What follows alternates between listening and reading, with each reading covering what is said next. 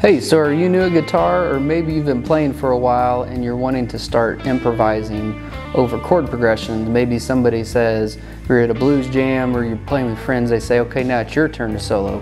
How do you do that? I'm going to show you guys how to do that step by step. We're going to use a really cool slow blues jam. I'm going to show you how to target the correct notes, how and when to play those notes, and some cool ideas you guys will learn along the way. promise this is going to be great for a beginner guitar player or an intermediate guitar player, everybody's going to get something out of it. Stay tuned, let's take a look at the fretboard. Here we go. Okay, so to improvise, how do we do this? Uh, so we're going to play this over the key of A, real easy. So we've got the A chord, just one chord. And then we've got a D. And then we've got an E. Easy 12 bar blues. So what we're going to do is we're going to use the very easy pentatonic, A minor pentatonic scale we all know. If you don't know it, super easy to play. It goes like this.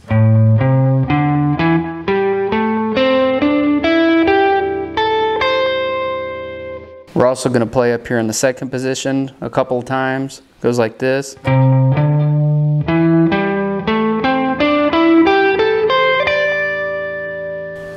We're just going to show you those first two positions uh, to not make it too complicated. So here we go. So what we're going to do is we're going to target the correct notes each time. So when we're when the A chord is passing by, we want to play the A note. So what we've got to do is figure out where the A notes are at. So the first one is going to be right here on the fifth fret. Then we've got an A note right here. This is on the fourth string on the D string. Got an A note right here. We also have an A note here. Those are the ones that we're going to be focusing on the most. Uh, so on the 4 chord, which is D, of course we've got a D note here. We've got a D note here. We've got a D note here. And then the last chord is going to be the E chord. So of course we've got an E note here, E note here, E note here, and then an E note right here.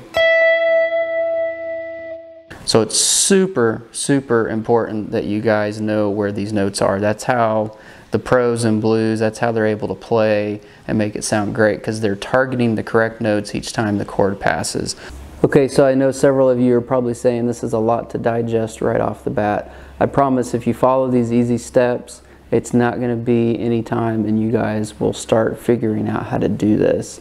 It just takes patience and it takes practice. If you guys do this every day, or at least once or twice a week, you guys will get the hang of it. Listen to the chord changes as they come by and then target that note when it hits and then it's going to sound great, I promise.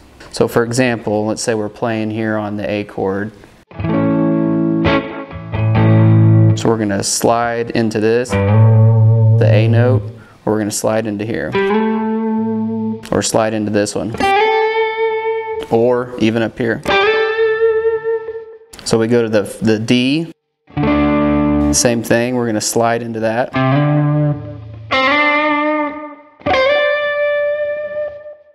Uh, the A, or I'm sorry, the E, slide into that.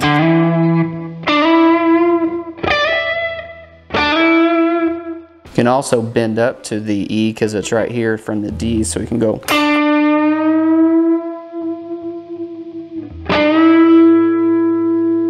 And then resolve it. Something like that. So that is how we're going to play this. So we're going to play the uh, a backing track that I've got. I'm going to talk through it as we go that will help you guys understand kind of the concepts I'm talking about. And then we'll also go up to the second position here too. Um, just uh, a recap, if you guys aren't familiar with the positions, just play this first one. Uh, you can get a lot of mileage out of it. You can play some cool bends. You can slide in.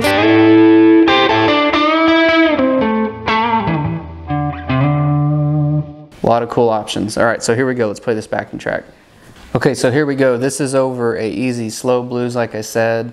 It's a quick change blues, which means that the first beginning part is the one and the four, go back and forth. I'm going to link it down in this description below for you so you guys can play along with it and take these concepts. All right, so let's start this up and I'll walk you guys through what I'm talking about. Here we go.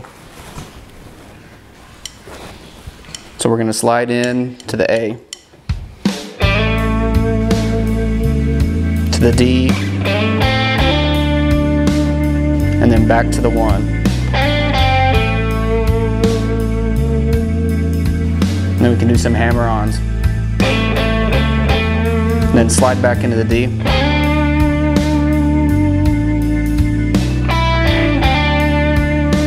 then go back to the A.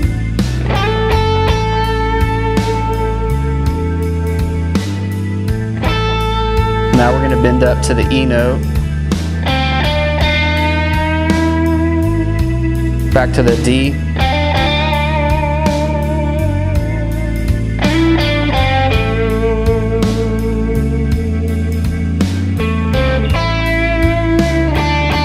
That's the E. All right, now up to the second position. The A,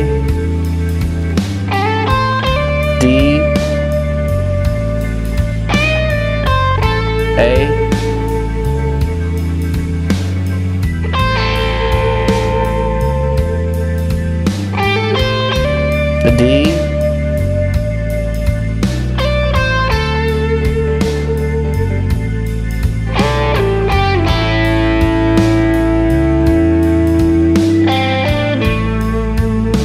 go up to the E, back to the D,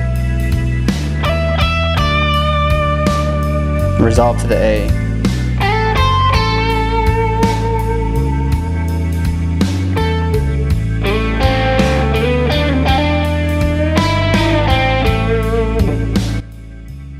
All right, that's it for this time. I hope you guys really enjoyed the video. Remember to take your time, have fun with it. Blues is all about being melodic and using emotion when you're playing. You're just playing the right notes at the right time to sound great. Uh, in the meantime, check out any other videos I've done here on the blues. Will help you guys a lot. And if you haven't already liked and subscribed to the channel, I really would appreciate that. Have a great day. We'll see you guys next time.